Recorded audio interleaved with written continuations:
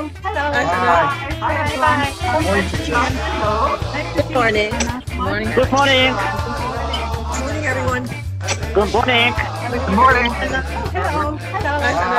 Hi. Bye. First I really, really want to greet each and every one of you with a Boker Tov, and it's going to be a brand new month this week. We're going to have a Rosh Chodesh this week. So yesterday, um, in shul, quote unquote, we we did the bracha for the new month. I'd like to just share with you that um, as a community of learners, we have uh, reached number 28. 28 in Gematria is Kaf Chet. By the way, Kaf Chet in a word stands for Koach. Koach means strength, and we have, with God's help, and actually with a big thank you to Alan, reached number 28, Kaf Chet, uh, as, um, yes, and we are definitely um, very fortunate, very, very fortunate to have a learning community. And, and we're going to start today with a prayer because yesterday we announced in Shul, someone announced in Shul that it's going to be a brand new month starting this coming Thursday. I know that I love to announce this one because it's going to be the month of Shvat. Shvat is the, is the month of spring in Israel because soon after that there is Tu B'Shvat and that's spring. Right. Um, and we we'll deal with winter for li- another little while.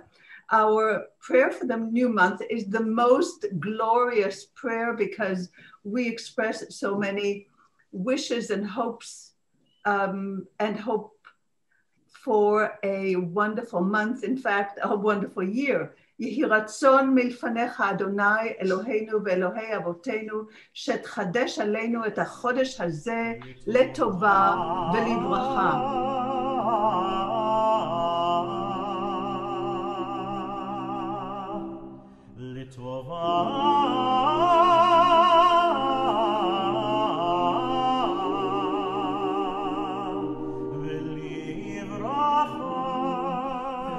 ותיתן לנו חיים ארוכים, חיים של שלום, חיים של טובה, חיים של ברכה, חיים של פרנסה, חיים של חילוץ עצמות, חיים שיש בהם יראת שמיים ויראת חטא, חיים שאין בהם בושה וכלימה.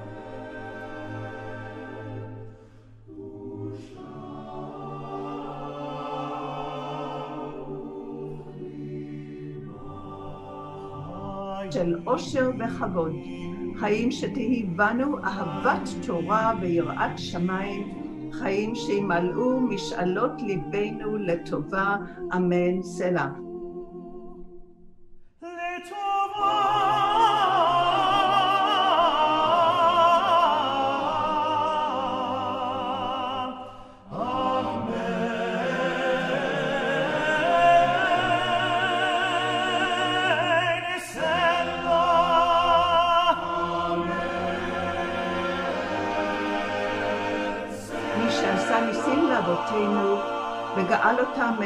לחירות, הוא יגאל אותנו בקרוב ויקבץ נידחינו מארבע כנפות הארץ. חברים, כל ישראל ונאמר אמן.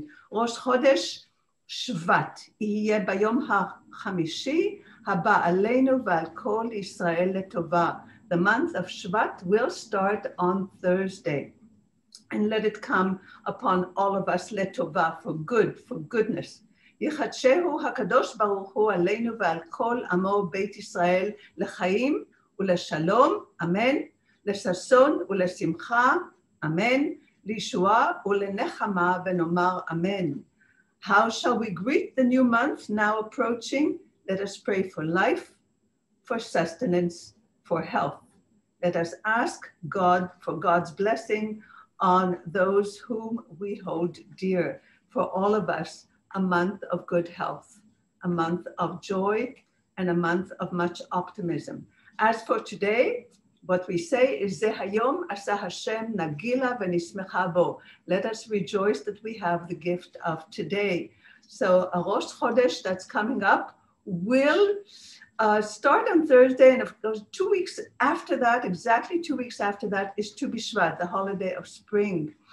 Let us certainly hope for good, good news, a great deal of joy, and a feeling of optimism. Amen.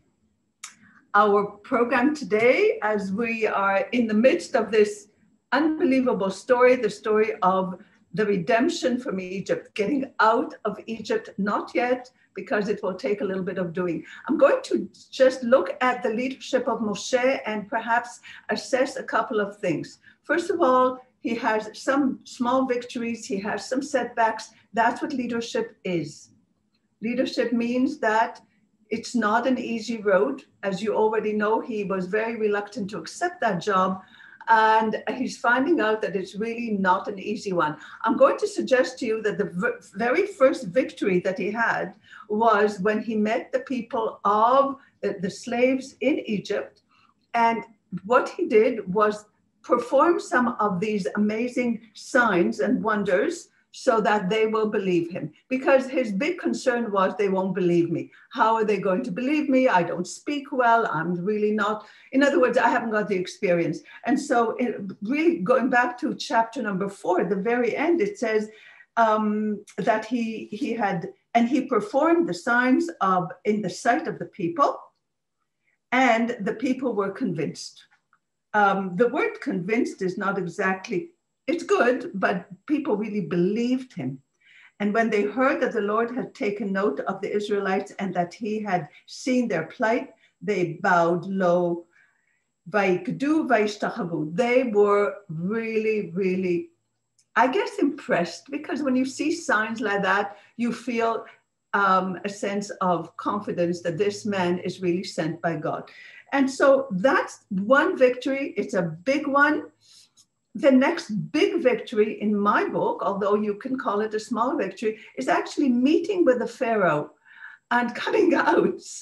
You know, sometimes I think to myself, you know, did he have a sense of fear that maybe when he'll walk in, he may never walk out? Although he does have faith in God and he believes, but you remember that there's a risk, there's always a risk. Leaders, leaders, and all of us, human beings, we take risks all the time. So there is a power struggle. The power struggle will start in the in the conversation between the two men. This newcomer, this new man who has just walked into a, an Egyptian power struggle, a pharaoh who's not going to let go. Um, and you know, later on, we're going to sing together, Let My People Go. Um, the power struggle with the two men, as you already know, even though he did gather all the elders, he really did, but it doesn't mean that they really were brave enough to come all the way to the palace. Um, in this very interesting book by Moshe Pearlman, In the Footsteps of Moses, that's the name of it, um, Moshe Pearlman is saying that he resolved, that means Moshe, to seek out the leading men of the tribes and clans and he held countless meetings with them, which makes good sense because he needed to convince them, right? Trying to quicken their spirit and change their outlook and give them ideals and new horizons. And without minimizing the dangers and the casualties they would suffer in the long struggle ahead.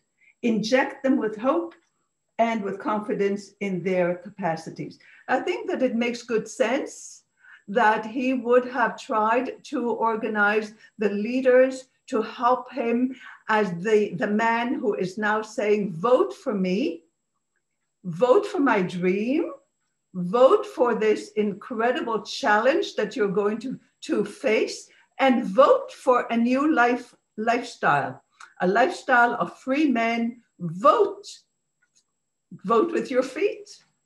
Come with me see if I can convince you that this is, it is a challenge, but it's worth it. It's going to be a big change. See if you can adopt it. I totally believe that that wasn't such an easy sell. Not so easy at all. So when he approached, so let's go back. When he approaches Pharaoh, he's got a setback. First, a victory. Pharaoh is willing to listen. He's going to suggest something that sounds not too bad at all. Just give us three days off. We are going to take three days off because we're going to sacrifice to our God. And um, and you know what? Pharaoh answers him with a question. And this is what he says. He starts with a question, the word lama, why? Says, why are you bothering these people? And that's how the English is said. Why do you distract the people from their tasks? Get to your own labors. And Pharaoh continued, The people of the land are already so numerous, and you would have them cease from their labors? And so the commentary down at the bottom says, you know, this is a major workforce in the programs that uh, Pharaoh has, and that's just not going to be acceptable. Not only that, but he decided that these people are lazy and they've got to be taught a lesson. I'm going to refer to quota later on again, but in this case, he's going to say um, these people are too lazy. And so there's a strategy. These leaders think that they're going to get their way. Pharaoh says, I'll have to punish the people. That's how they'll know that this is not acceptable. It's not going to happen. That's where he says a question, you know, why are you bothering? He didn't say, why are you bothering me? He didn't say, you know, get out, I don't want to see you. He says, why are you bothering the people? They're busy doing their job. Don't bother them. Commentary. The tyrant loses no time in issuing orders designed to drive home to the Israelites the futility of entertaining any hope of ceasing their labors. That's what tyrants are. There's only one way, and that's my way. That's the way it goes. So it says like that that um, he had a system, and that, you know, in modern times we saw the same thing. The uh, there is there are policemen and they are Israelites. The policemen deal with a group of people, and on top of those policemen, uh, there is a taskmaster who's an Egyptian.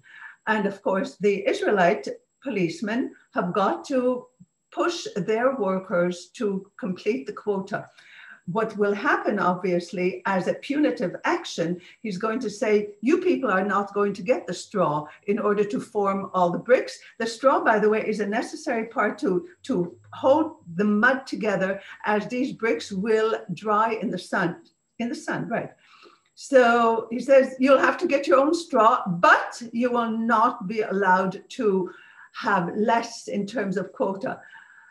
In other words, every single day they had to produce a certain number of bricks, and, and it's called Shmol Shilshom. Yesterday and the day before, you had X number of bricks.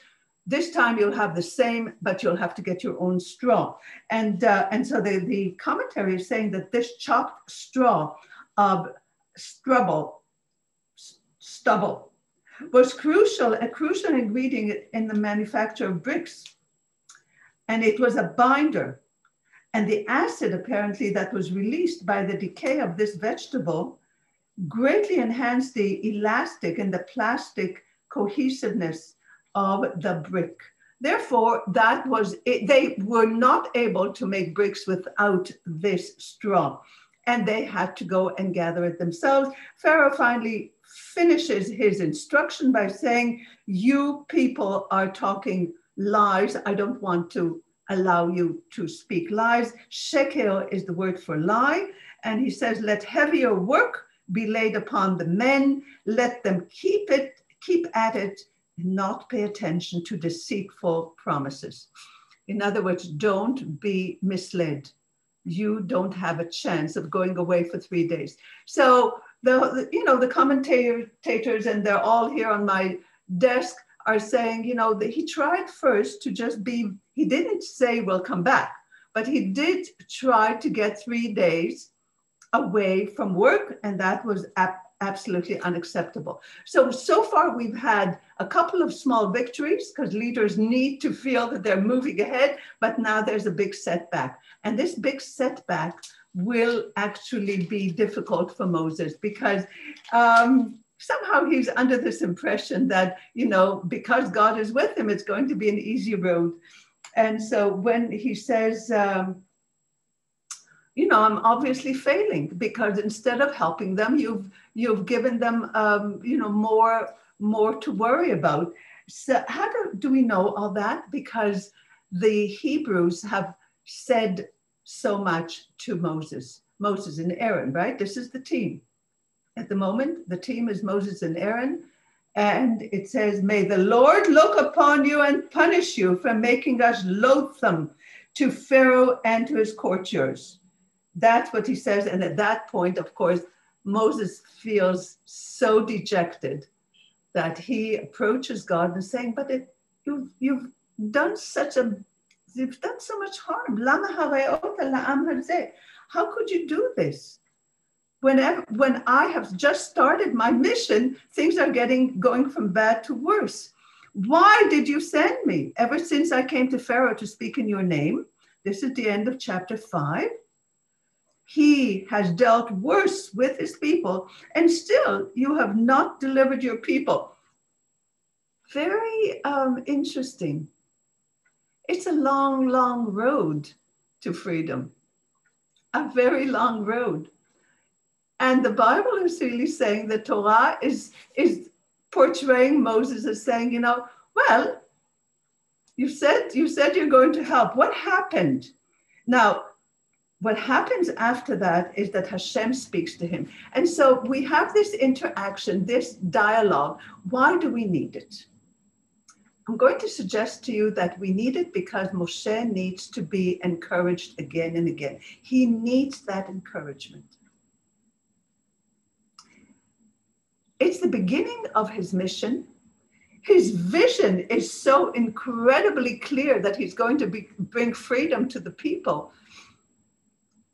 But this will be much longer than he anticipated. In fact, there are many, many scholars who believe that the whole situation of plagues will take about a year. It will not be overnight at all. And Rambam, Maimonides, is looking at the figurative language that is used again and again in our Torah. I'll just read it for you. Hashem says to Moshe, You will see what I will do to Pharaoh. He shall let them go because of a greater might. And the words in Hebrew are yad chazakah, which means a strong hand. Indeed, because of a greater might, he shall drive them from his land. Not only that, but Hashem says it's not only that he will release them, he will actually drive them out. And later on, we do see that he drives them out. Yad Chazakah has been used again and again, and you see it again uh, in the Haggadah when you when we read it. So it's figurative language that's applied to the power of God. God, so to speak, has a strong arm, and that is his power. So we're going to connect this to the, the, the new parasha. What do we see in it? We see a number of plagues. But first and foremost, we see uh, the, the four important, really five important uh, words that we used, verbs that are used, that are really expressions of redemption, Vehotzeti, Velakachti, so let's read what Nechama is talking about when she's talking about those special verbs. Why are we talking about it? Uh, well, you know that the, the sages have decided that because of those special um, terms of redemption, we drink four cups of wine. In fact, many people believe we should drink five, and that's exactly why you have a cup on the table, which we like to call, call the cup of Elijah. And so the, the text is trying to tell us that not, you'll see, you'll see, but you, you need to have patience. Patience um, in Hebrew is savlanut. And uh, sevel, Hebrew is interesting because you take savlanut, which is patience, and sevel means, means suffering somewhat.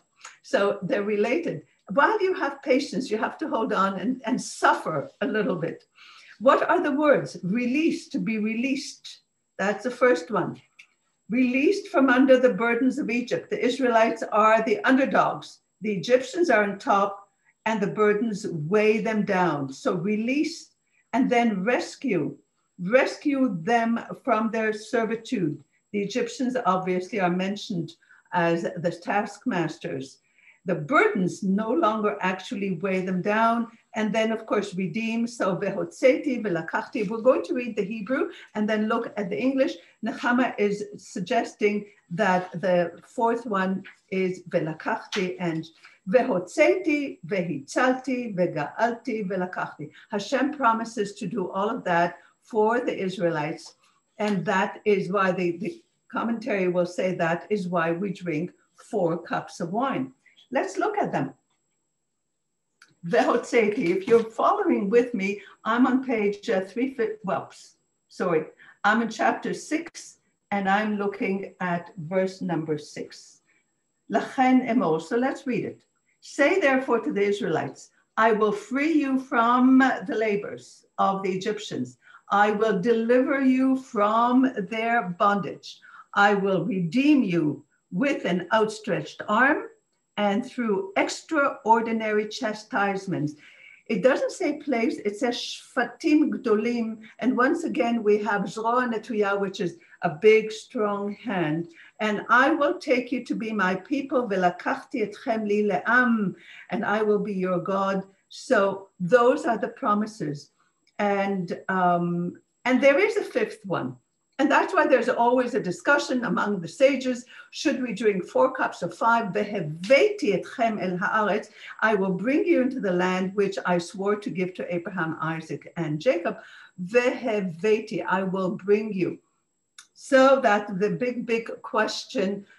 And so why do we have that cup on the table, which we call the cup of Elijah? For many reasons. Remember, uh, you know, on Seder night, we have lots of reasons, and not, not one of them is wrong. But the, that cup on the table is saying when Elijah will come to announce the coming of the Messiah, because that's his job, he'll tell us whether we should really drink the fifth cup of wine. Veheveti, veheveti etchem, uh, I will bring you to the land.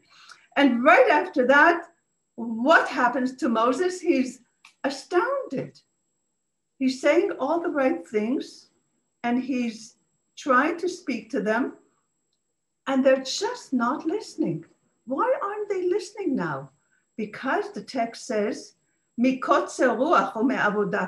They are that so this is the narrative of hope suddenly has taken a back, you know, it's it's it's life itself. You know, we move forward, but we move backwards at the same time. So they're demoralized. And Moshe is demoralized. Their spirits were crushed. They're saying kotzaruach. Kotzaruach literally means just short of breath. I'm working very hard, so don't bother me. Avodah kasha is really, really hard work. And Moshe needs encouragement, like all of us. And even Moshe Rabbeinu is really portrayed as a human being. Life life has too many challenges at the moment. He says to God, What am I going to do? They won't even listen to me. And this is once again when he's going to say, God, you know that I'm not a good speaker. That's why they're not listening to me. Why should they listen to me? I can't speak so well. Moshe is dejected. They wouldn't listen to him. So his spirit is crushed, but their spirit is crushed as well. They're just really unhappy. Therefore, Hashem will give him encouragement. Come, go again, speak again to Pharaoh. God is saying, you know, you can't afford to give up. You're my emissary. You have to do it. Go. Or really, the Hebrew is bo daber el paro. So Pharaoh, the king of Egypt, has to be told again, let the Israelites depart from the land. He should send them away. God already knows it's not going to happen. So for the first five plagues, what we'll see again and again, um, and we won't read all of them, is that every time Pharaoh has a chance to change his mind, he hardens his heart. How does that become a problem? First of all, somehow it's the heart that gets hardened. And the more he decides that no, he won't let them go, the more convinced he is that that's the right way to be. And everyone, all the commentaries, everyone is concerned about Pharaoh's free will. If he, in fact, is so stubborn, is God making him stubborn or is he making himself stubborn? And that becomes a big issue in the Torah. The commentary is saying um, that it's very, very difficult, difficult to punish somebody if, in fact, he is, if the man, in this case, obviously Pharaoh, is very stubborn or if God is making him stubborn. These are the issues. Pharaoh won't listen to me because people are not listening to me. Why should Pharaoh listen to me? And the expression that's used is a very interesting expression, as if my lips are, like I, it says in the English, of course, that my speech is impeded, but the Hebrew says aral sfatayim, which is generally understood as uncircumcised lips. In other words, I have a great difficulty my lips, um, and it's obviously a biblical expression, aral sfatayim. So the Lord spoke to both Moses and Aaron in regard to the Israelites, um, instructing them to deliver the Israelites from the land of Egypt. Once again, it's reinforced. In between here, there's, there's suddenly going to be a genealogy, and they're going to talk about the fact that Amram is the father, Yochebed is the mother, and that they are from the tribe of Levi and that they had three children. Um, so it, it's almost to verify. And we always wonder about that, don't we? That Moshe felt very strongly about being part of the Israelites, although he was never a slave, but he did know his origins. We know that. So there's a genealogy, and, and the commentary says the notice must um, preserve a very ancient tradition that he was from the tribe of Levi. That means Moshe. So, what are we talking about at the moment? We said the big issue is that Pharaoh has made his heart stubborn. I'm going to suggest something very different. I understand that Pharaoh is cannot have his authority defied by people. He's listening, and there's a sense that that Moses and Aaron can come and face him and speak to him anytime, anytime it appears, especially near the Nile. And you know very well that the Nile is a very important part of the economy of the whole of Egypt. Without the Nile, Egypt is really lost. So he would come and um, and discuss, if you like, the very next stage of this whole process. I'm going to suggest something that I've thought about, and I wonder whether you see it as well. Yes, it's true that Pharaoh is very, very stubborn because he feels that he is the authority the authority, the big authority in the land. So don't try to be defiant. I'm going to suggest that Moses is encountering a people whose heart is stubborn. The people that he is talking to are not open to these new ideas. They may just see Moses as a dreamer. It's not even likely to happen, is what they're, they're actually saying. Look we are slaves and you're being a dreamer. So it's an, it's an interesting idea. You may or may not agree with that, but I'm suggesting that most of the Israelite slaves have hardened their heart and they remained unmoved by the new leader. Not only Pharaoh, but the people are unmoved by the new leader and he's making for them outrageous promises of freedom, dignity. Wow! Can't you see? We're slaves. What kind of promises are you making about having an opportunity to move out, to belong to a different kind of a class, to be special in the eyes of God?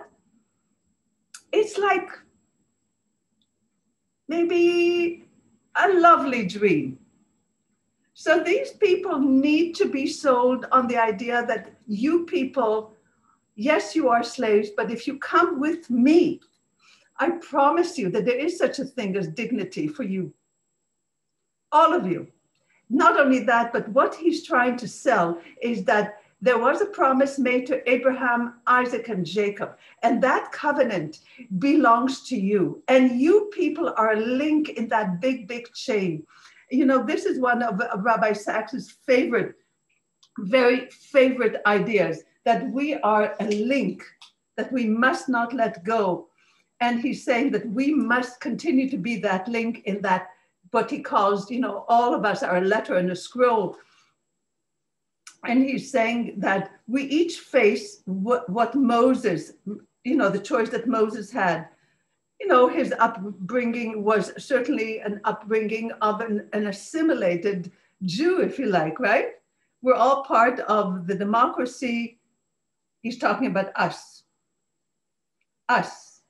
And he is saying that it depends on us whether we are going to continue to be the link in that chain. He says in his own words, I cannot be the missing letter in the scroll. I can give no simpler answer, nor do I know of a more powerful one why I am a Jew. Moses is saying to these people, you people have a greater role to play. And his big challenge as a leader Yes, the big one is to speak to Pharaoh, but there is another, another one in trying to convince the people that there is a different reality that they can look forward to, that they can move, and that there is a promise, and that they have that opportunity to change their ma- mindset and to continue that wonderful story that was started by Abraham, Isaac, and Jacob. Can he convince those slaves to embrace that dream of a new life? You and I already know that the sages assume that only about 20% were willing to take that risk at the very end, even after they saw all of these wonders in Egypt. Most of them could not really do it. So I'm saying, and you know, Moses is called Moshe Rabbeinu a great teacher. Well, he had to teach them courage. Apparently, that wasn't so easy. He had to teach them to see a new opportunity. Not everyone could do that. And he had to teach them to dream, to dream of a better tomorrow. Not an easy job for a great teacher. So, what am I saying? that Pharaoh, yes, Pharaoh is very stubborn, but it seems that the people who are stuck in the mud here are not so able and not willing to see the new reality. There will be all of those amazing, amazing, um, uh, what we call shfatim. Most of us call that in English plagues. But what we also know is that at the beginning, Pharaoh will say again and again, Oh, I'm not so convinced, even uh, even though it's not comfortable. I don't like all these frogs jumping everywhere. I don't like all. There's certainly now. Here is the big issue. The Egyptians were very, very convinced that magic is powerful, and as long as his own magicians could create something similar to these magic things, that he was not convinced. And so that's what happened.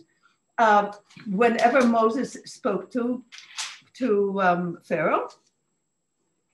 He says, "Well, you know, okay, you you know what? You can you can have a little a little holiday ba'aretz in the land." So Moshe says, "No, no, no, just a minute. I can't do that. Lo nachon. It's not good. Go and sacrifice to your God in the land." And Moses said, "It would not be right to do this because those are it's an abomination to the Egyptians. Remember that they really worship their animals. So he says, we'll just have to take three days going into the wilderness. It's not actually, because people are asking, is this a lie that Moshe is, he's never promising that he will come back? It doesn't say that. it says we'd like to have three days in the wilderness where we will bring a sacrifice to our God. And most, um, and Pharaoh obviously won't do that. What, what we see again and again then, we already know that, a strengthening, a hardening of the heart. What are the sages concerned with? They're mostly concerned with free will. Is there freedom? if there's no freedom, does Pharaoh have freedom? Rabbi Sacks is saying that Rashi understands the hardening of Pharaoh's heart in the last in the um, in the last five plagues as a form of punishment for the first five plagues, when it was Pharaoh's own stubbornness that led him to refuse to let the people go. And so the whole issue of free will, and we believe that human beings have free will. It says, strengthen Pharaoh's heart so that even after the first five plagues, he was genuinely free to say yes or no. The last five plagues, God strengthens his heart, which literally means that he helps him go in the direction that he already set up for himself. Pharaoh says Rabbi Sacks, is every man. It was not the Hebrews, but he who was the real slave to his obstinate insistence that he and not God ruled history. And Ben Zoma, a great sage from the Ethics of the Father, says, Who is mighty? One who can conquer himself. So Rabbi Sacks continues At the heart of Judaism is faith in freedom. We believe that each person has freedom. We live in time, but we are addressed by the voice of God who is beyond time. And so he says, Moses was born into a nation of slaves, easily lost, hard to sustain. Freedom is our most precious gift. Uh, I think that it speaks to us today, especially today, because over and over again we hear that we've lost our freedom for one reason or another, all about the corona. Um, so I know that I'm speaking about something that we think about. We are not totally free for the time being. We have some restrictions. Um, as always, the Torah is so, so relevant. Right. So there's a, a very interesting section in the text.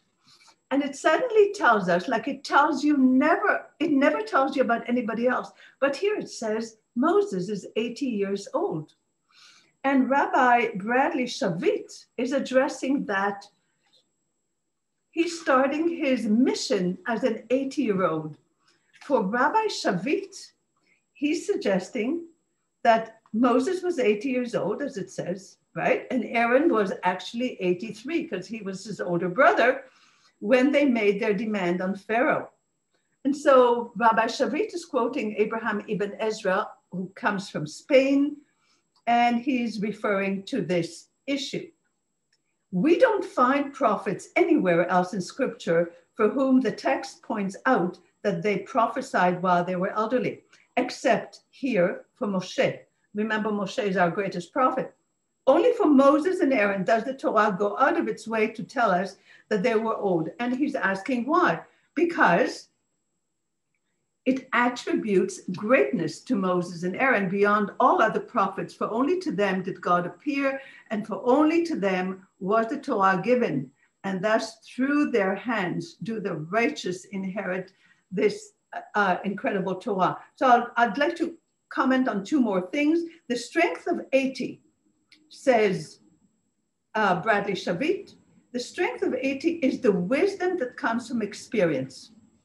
He continues and he says, as an adult of 80, he's finally able to look at the human condition with compassion and some skepticism. But I want to share with you what it says in the Talmud, and I think you'll be quite astounded, like I was. The Talmud relates that Rabbi Hanina used to say that one who was uh, regarded as healthy Watch what it says. I quote As long as one is able to stand on one foot and put on and take off one shoe while you're standing on one foot. Okay, everybody stand up on one foot and let's see whether we can do it. The Talmud already addresses the fact that an eight year old is fit if he or she can stand on one foot and take off or put on their shoe. That's Rabbi Shavit, and it shows you that there's a little bit of humor in the Talmud as well. I like that. As we continue, where it says that God strengthens the, the heart of Pharaoh, I always keep saying, um, is stubbornness really always in the heart?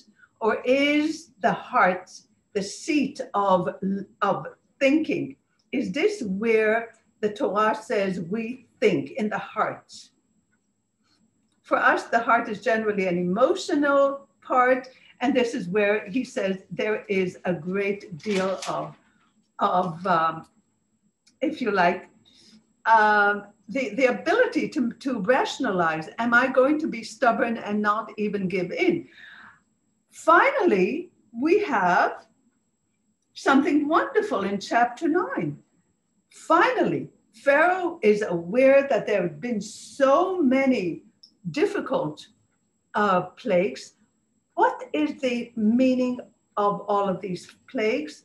Here is what he begins to understand. He is pretty safe in his palace, but the economy of Egypt is slowly but surely eroding, it's diminished. That's what's happening.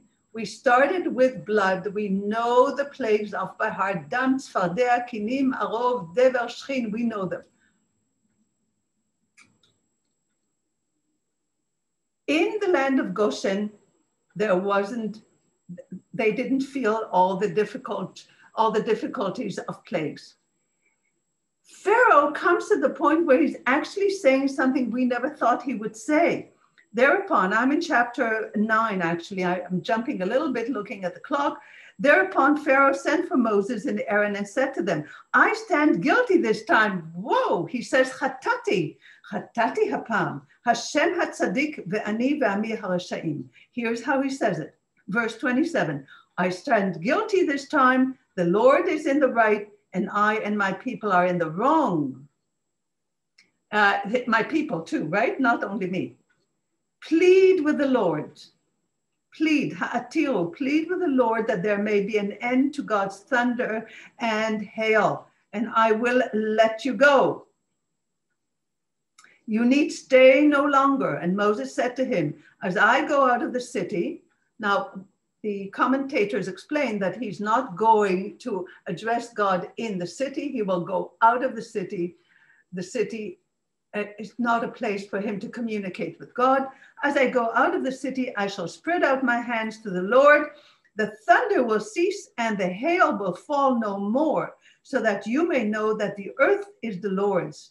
But I know, says Moshe, that you and your courtiers do not yet fear the Lord God.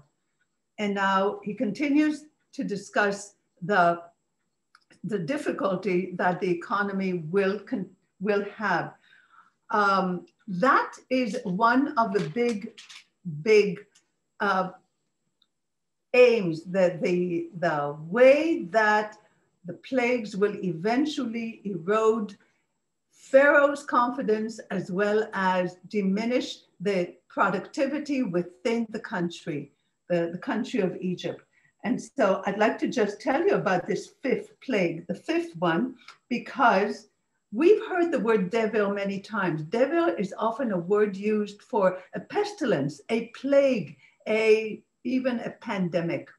So the fifth plague is called the pestilence, dever.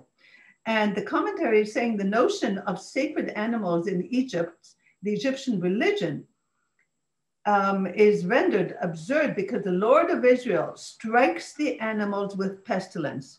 So at the beginning, it is uh, the right the animals that will be killed. Eventually, as we know, it will build up all the way to the firstborn, the, the uh, smiting of the firstborn. What else is interesting here is uh, we already said the problem of the strengthening of his heart. Why is this continues to be so, so very interesting? Well, um, there's a couple of things that I wanted to share from, from these wonderful uh, thinkers. Um, let me just, uh, because I can see that um, I need to rush a little bit. Um, Rabbi Visotzky is suggesting, and many people have said exactly the same thing, that the, the nine plagues, and of course we're not going to finish the plagues in this parasha, the nine plagues can be divided into a set of three, and he quotes Nahum Sarna, the, the great commentator of Bible. In order of the plagues, um, he's suggesting that the first nine fall into three sets of three each.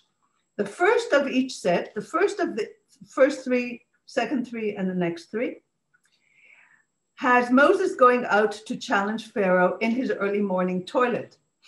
Rabbi Visotzky is uh, reminding us, and many commentators said, Pharaoh would go out to the Nile pretending that he does, he, he's, mo- he's really a god. He doesn't need to do the daily toilet, as he calls it, the morning toilet. So Moses will meet him at the Nile. Moses confronts Pharaoh, demands release of the Israelites, and makes explicit the punishment to follow should Pharaoh refuse.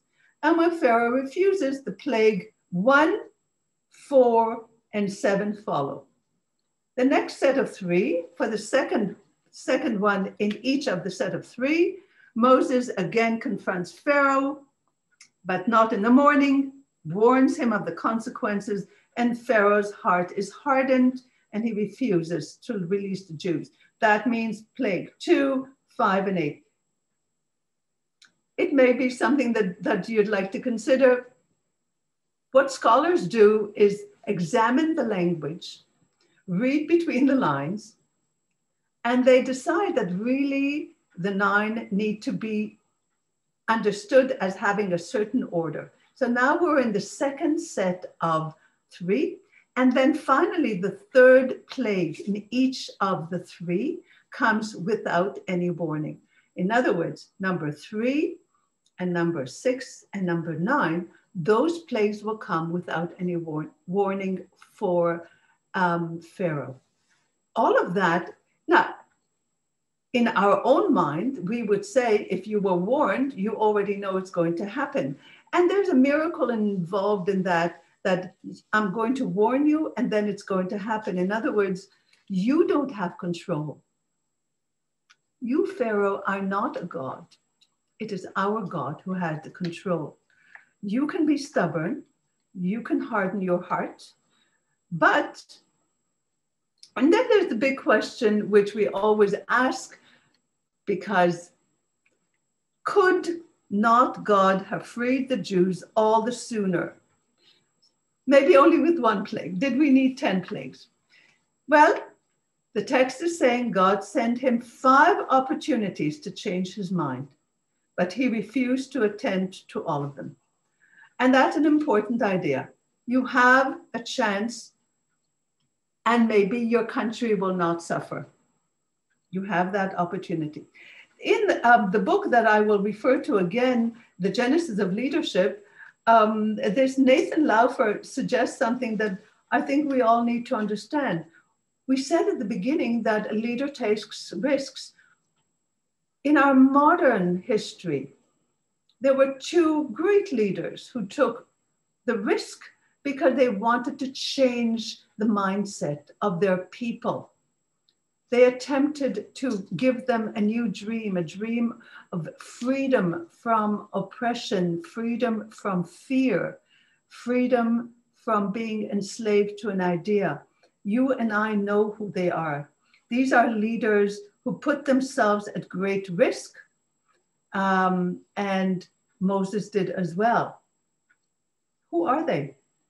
Well, in 1981, the assassination of Egypt's President Anwar Sadat, and in 1995, the slaying of Israel's Prime Minister Yitzhak Rabin. These are leaders who tried to change the balance of war and peace in the Middle East. And we know that these are real life examples of the very real dangers inherent in leading change. the risk is the risk of life and death, as you already know. Now, as far as um, this author is concerned, he says a leader really has to have passion. He has to have a very big heart. A big heart for him is passion. You have to believe in some things. And the second, as far as he's concerned, is to have spine. What does he mean by spine? That means to stand up for what you believe and what you think and take the risks because you know that that's important.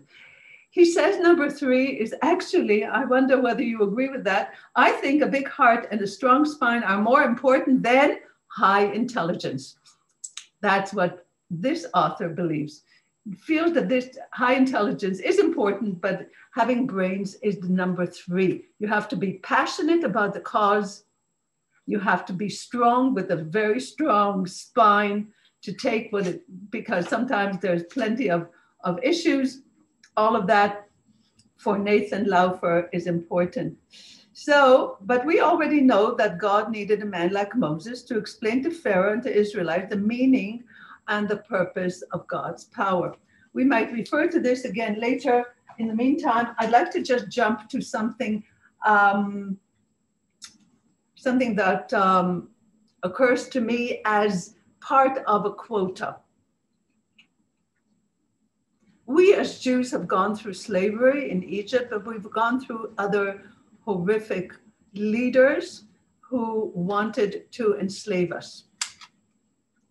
And the word quota comes up again and again when we discuss a time, and this is in the 19th century, when in fact the leader, and the leader is Nicholas, Nicholas I of Russia, who wanted to make sure that Jewish children are going to lose their identity and they're going to serve the country. How are they going to serve? They're going to be part of the army. They will be literally kidnapped. They were kidnapped on the street. Sometimes these chappers, these kidnappers, may even be rabbis because the government expected a quota. And those children were sometimes as young as 12. At the age of 18, they became soldiers for the Tsar for 25 years. What are they called in case you're looking it up? They're called cantonists. They are really juvenile conscripts. And those children obviously were worked very hard. Usually they lost their, their sense of who they were to begin with. In August 1827, Tsar Nicholas of Russia signed the Statute on Conscription Duty, drafting Jewish boys at age 12 to six years of military training, followed by 25 years of service in the Russian army. The official policy was to coerce them into converting to the state religion. I'll read to you a couple of things about those children. And should you think that this was simply a, you know, a small program, we are told that probably 40 or 50,000 Jewish children were kidnapped and they were subjected to this cruelty. It says Jewish minors, those who are under 18, shall be sent to the preparatory institutions for military training, and those, as I said, are cantonist units. The Jews from the age of 18 and upwards shall be assigned to active military duty according to their physical condition as ordered by the military command.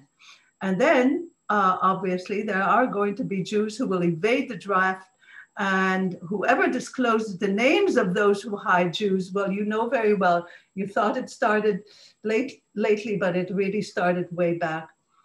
For the purpose of release from the draft, only time spent in active duty after the age of 18 shall be taken into account.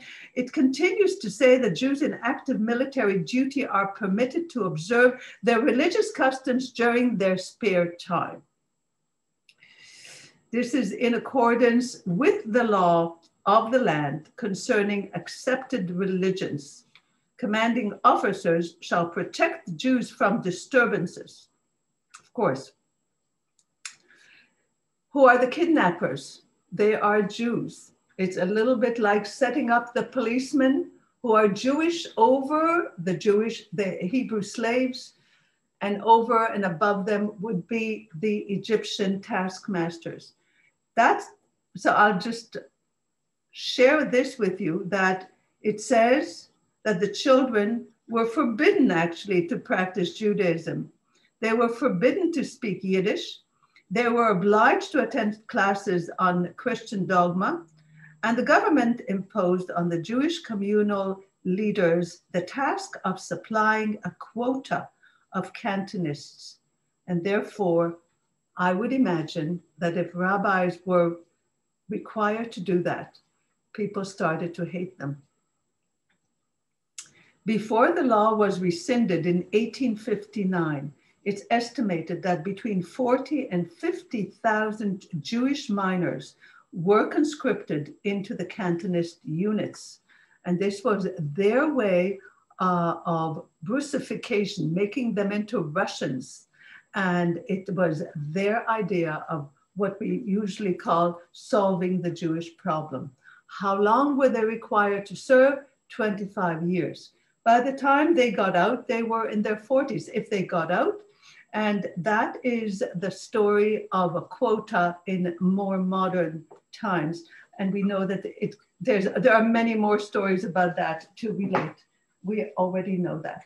Let me just tell you that if you're looking for um, um, the story or an account of the plagues in the book of Psalms, you would be looking at a couple of Psalms. There's Psalm 78 that has um, the whole story, not necessarily in the same order, of the plagues. Psalm 78 it, and, uh, and there are other Psalms. The Psalms of 105 is another one in which we once again have, it starts with, He turned their rivers into blood. He made their waters undrinkable. He inflicted upon them swarms of insects to devour them, frogs to destroy them. He gave their crops over to grubs and their produce to locusts. He killed their vines with hail and their sycamores with frost. You can see that the order is different. This is Psalm number 105 in the book of Psalms, and the second one is 78.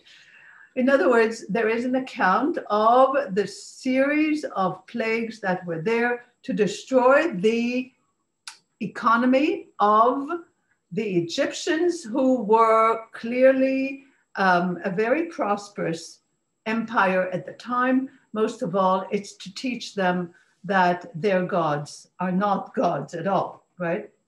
And then the one more thing that I wanted to share um, as we're looking um, has to do again with free will. Why is that such a central issue? The free will.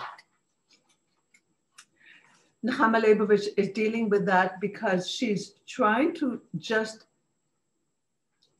explain to us that free will is something that we take for granted unless we're slaves, obviously. And some of us, by the way, we won't go there at the moment, but I'd like you to think about it. Are we slaves to anything today? Are we enslaved? Are we allowing anything to enslave us? Um, and that's what obviously we uh, need to think about the whole story of slavery very seriously but she's saying that it was Pharaoh who hardened his own heart. Um, that's true.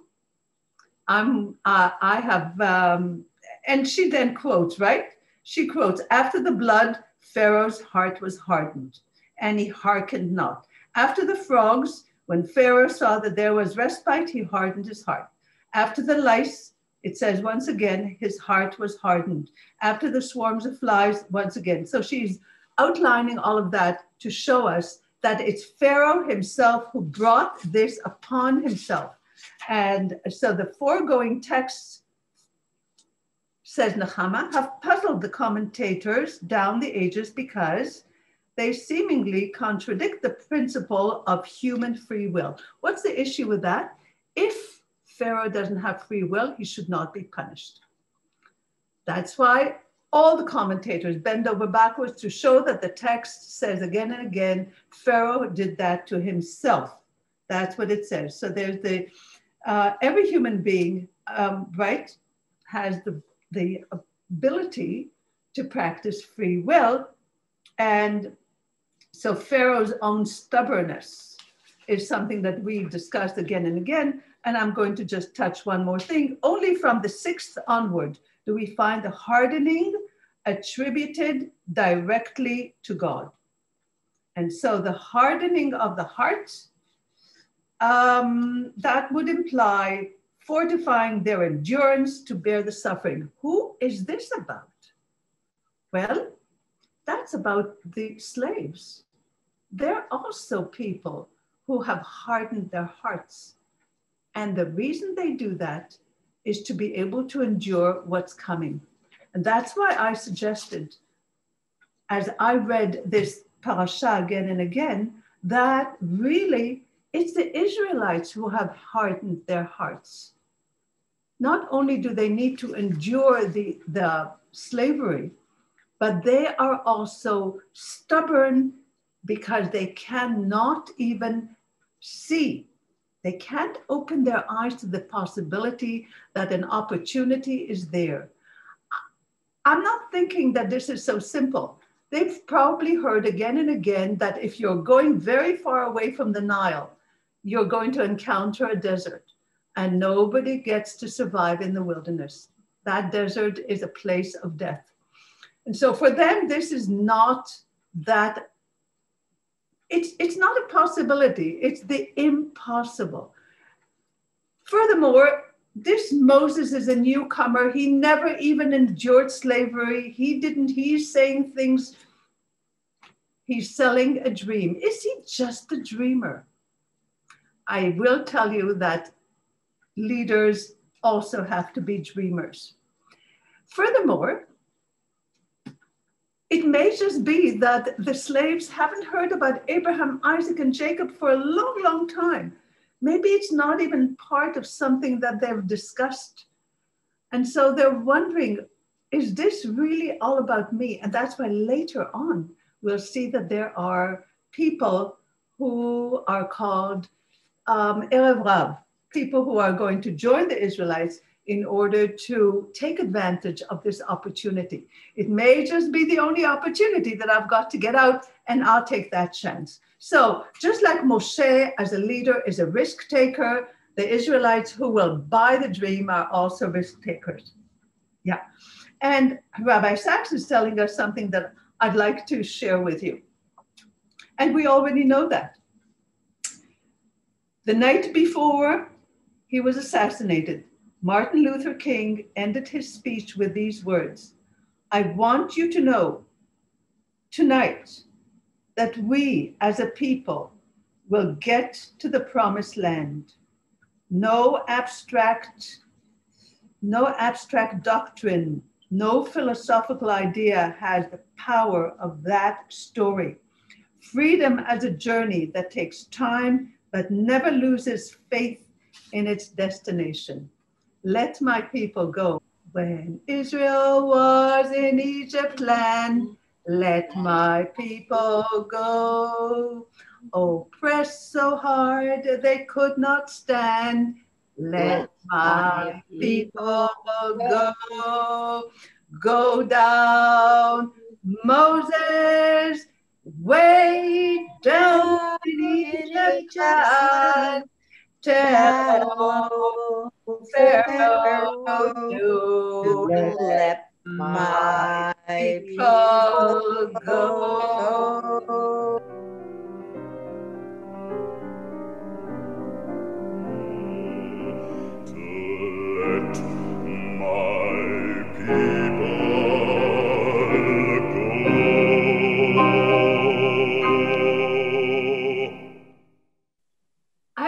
To end, I know, and then perhaps we can open up and see how many people want to comment. Uh, a real, a very well-known speaker. Before I do, I wanted to just um, acknowledge how grateful I am for this opportunity to share all this with my this wonderful learning community. To thank Alan and all of you for joining us today and celebrate learning as we do. celebrate learning Torah. And here's a story. A well-known speaker started off his seminar holding up a $20 bill. In the room, there were 200 people, and he asked, who would like this $20 bill? Hands started to go up. And he says, I'm going to give this $20 bill to one of you, but first, let me do this. And he proceeded to crumple the bill, and he then asked, who wants it? Still, the hands were up in the air. Well, he replied, what if I do this? And he dropped it on the ground and started to grind it to the floor with his shoe. He picked it up and now it's crumpled and it's dirty. And now who would still want it?